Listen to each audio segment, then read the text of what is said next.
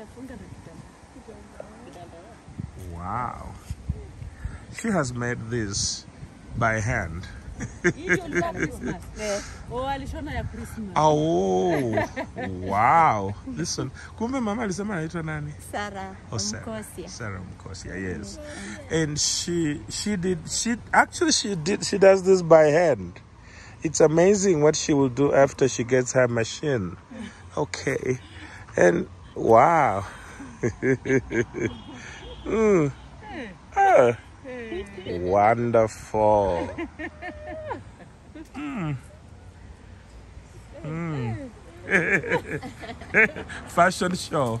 Wanaitanga hii hii. Watoto wanaendanga kufanya shuleni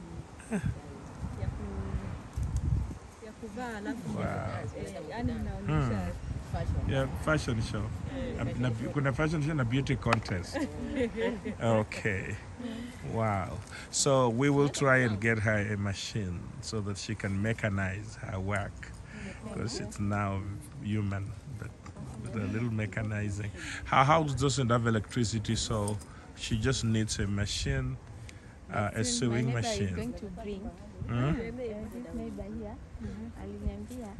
This neighbor here aliniambia ataleta hapa na alafu anilete. Okay. Ya kimungu ni mwema. Oh her neighbor will be will be connecting his house with electricity, and so when he does that, she will get power. Okay, but in the meantime, because we don't know when he will get that, mm. we are going to get her the, the manual one.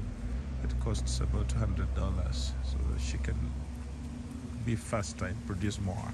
And she has a market because uh, we just bought a lot of clothes for the seniors, and it costed us a lot of money, and it went to people that we don't even know. So we, I would want to buy from her so that I, her business can also grow.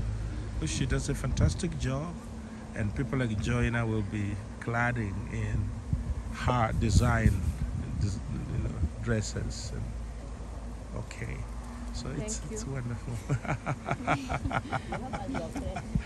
okay, wow, she's a widow, a very very hardworking widowed woman. Her name is Sarah Omukosia. Okay, wow.